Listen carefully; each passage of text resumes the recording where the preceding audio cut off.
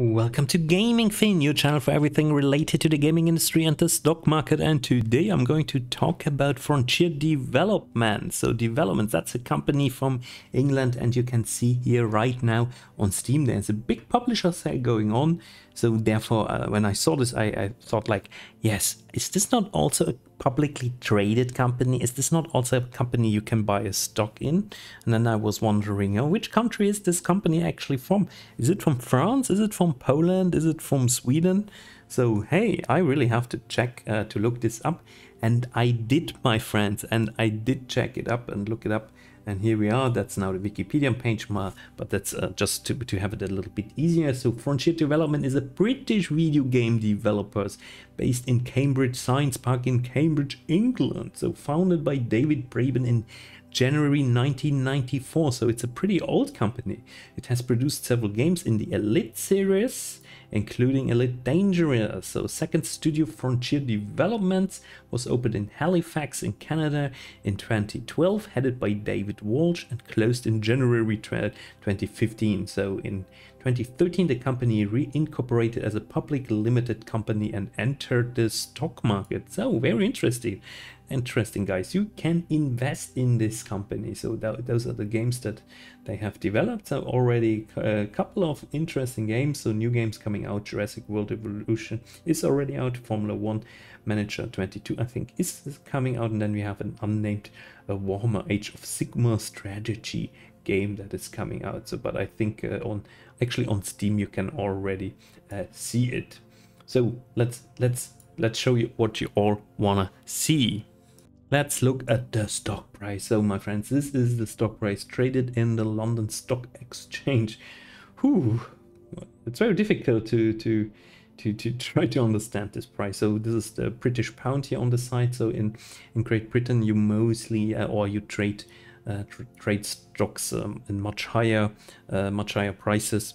Um, uh, like uh, totally the difference actually to, to Hong Kong where you trade them in, in like penny stocks and then in the in the in the UK you trade them uh, much much higher uh, uh, packages let's put it like this so one stock is mostly more is representing more valuation of the of the company so going public in 2013 14 so we we actually saw kind of a nice uh, nice price jump here when i look at this 100 pounds up to 290 to 300 pounds.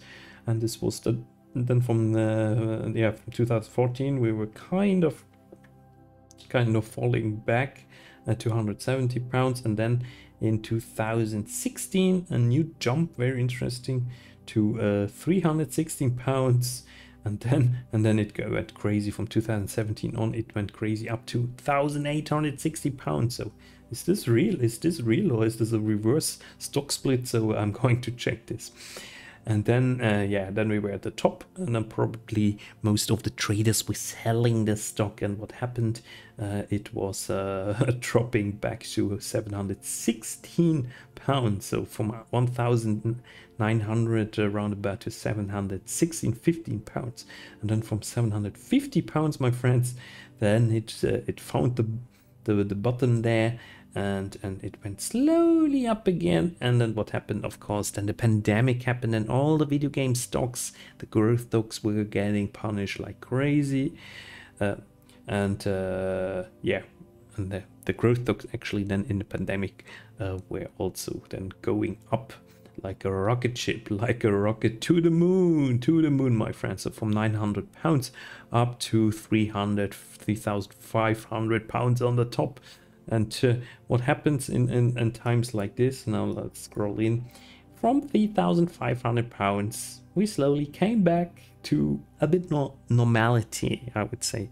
It seems also that we found found some sort of a bottom here, 1,000, uh, 1,100 uh, pounds. So, and uh, from there we already went up 20, around about uh, 15, 20%. So, so looks interesting actually to invest in. So you can everything that happened in the pandemic, you can just uh, delete it. It never happened, so it's out of the game. Most growth stocks look look like this. So it's not only this stock. Most growth stock look like this. So yeah, disclaimer, I'm not a financial advisor. I'm just a retail YouTuber and uh, this is just my opinion for educational purposes. Don't buy, sell anything I talk about here.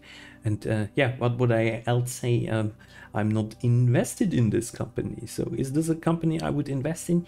I There's one thing I don't like. I don't want to buy now for 1,300 pounds the stock. I would uh, buy uh, in much more smaller parts the stock. So that's that's a bit my philosophy. But looking at the mere chart, I like this. So I really like this looking at the chart. So what is Frontier Development working on in March? announced they had signed an agreement with Formula One to develop and release several management simulation games. That's interesting, so they're coming more. So is Frontier a AAA development? Why work in programming at our great teams now? Very difficult written, so let, let's go on their homepage. So homepage is fine. We see, of course, immediately their games. So they make the Formula One manager games. They have the Jurassic Park World. I like the Jurassic Park World game. I like Planet Zoo games. I also I kind of like Elite Dangerous. It's for VR. It's kind of fun. So and uh, yeah. So the idea of their games, I definitely I definitely enjoy. I think that's that's pretty cool. So our games yeah, breaking groundbreaking games is maybe a bit too pushy. So what, what are they doing here? What is this Scream Scream Ride? Never heard about this. So Scream Ride, ah, that's only for the, for the Xbox. Lost Lost Winds is for PC, Apple, Disneyland's Adventures, Roller Coaster Tycoon, Lost Winds, Wallace and Gromit in Project Zoo, Roller Coaster Tycoon, Dog's Life, that's an old game, Infestation, so here, some of the old games. So also you see where they're coming from. And Elite Dangerous. So overall, I would say, yeah, it works out with them. I mean, their games are their games are popular. I mean, we can click on Jurassic Park World. So you see, very positive, very positive rated, 8,000 uh, over 8,000. Uh, uh, different uh, uh, reviews. So if we click on Planet Zoo, we see also very positively rated 46,000 reviews. So hmm, not bad, guys. Really not bad, I would say. So definitely interesting. So then uh, we already had uh, had the Wikipedia page. So then I would say let's click on the investors page because that's always a where you can see some more information. So interim report and accounts. So we could download now the report and then we can uh, look a little bit more into this. So yeah, who finance, we can also check. Actually see more numbers there. Here we go. So, so half year revenue up to 33% well positioned for an exciting 2022. They say here. So I'm not going to go all in the details. This is just an introduction video to this uh, for this company. But if you're interested, my friends, so give me a, give me a thumbs up and a like and give give me a comment if you want me to go a little bit more into detail of Frontier development that I also go a little bit more in the numbers, then uh, please uh, please tell me. So this uh, would be interesting. Then I can work myself uh, much more into this. So David Braben, the chief executive officer says here, we have had an unprecedented couple of years because of coronavirus and the resulting changes, both positive and negative. We have seen increased sales and changes to purchasing patterns. The acceleration of the transition towards interactive entertainment and digital purchasing and changes to productions that embrace home working. Although coronavirus challenges remain, we believe we now have sound production processes that work in the new hybrid world as demonstrated by the on-time and high-quality delivery of the excellent Jurassic World Evolution 2. So they developed this game during the difficult pandemic times, but all the other developers also did this.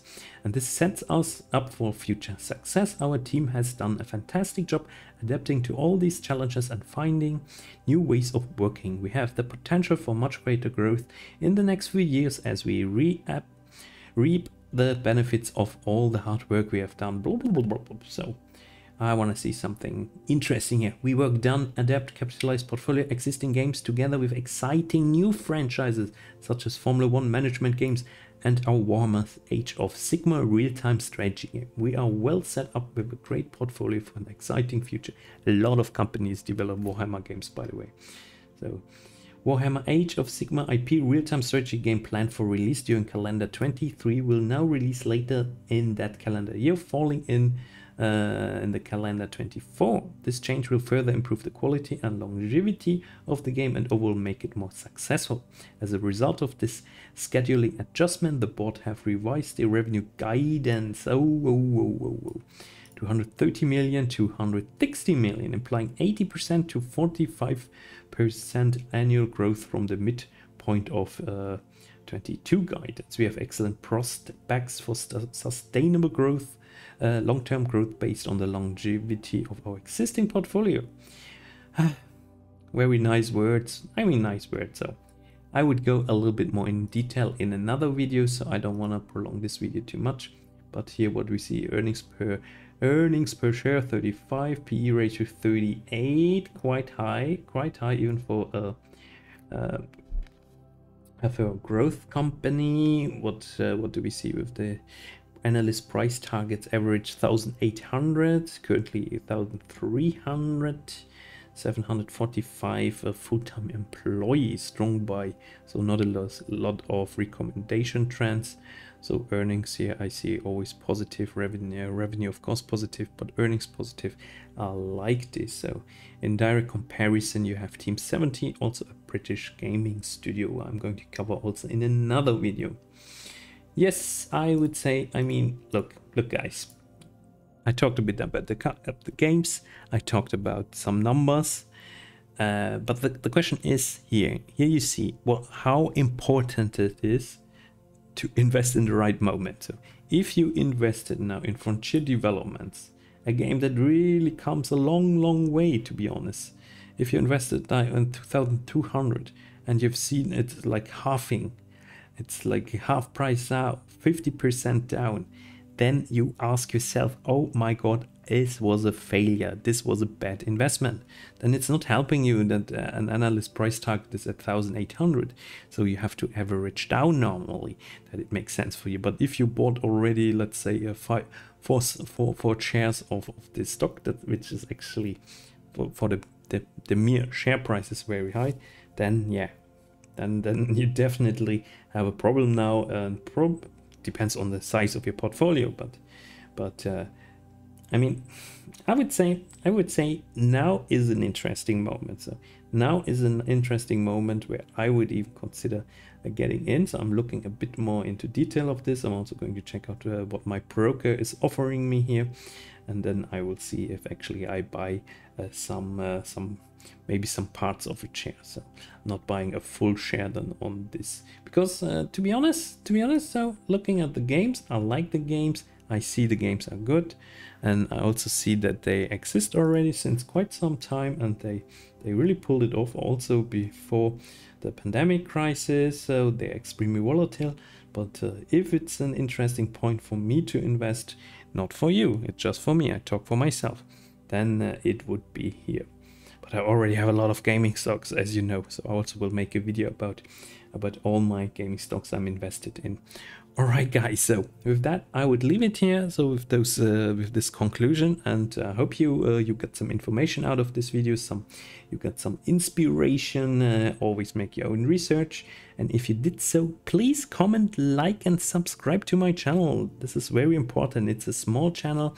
It's a new channel. I'm trying to to grow I want to grow naturally. Naturally, I don't want to grow uh, fake. I want to grow in a nice, sustainable way. So that's my plan with this channel. Uh, therefore, no giveaways and anything here. So I just want you, if you like my content, give me a sub. If not, uh, yeah, don't, don't sub it. It's it's normal. So I don't care then about this. Thank you very much, guys. See you next time. Bye bye.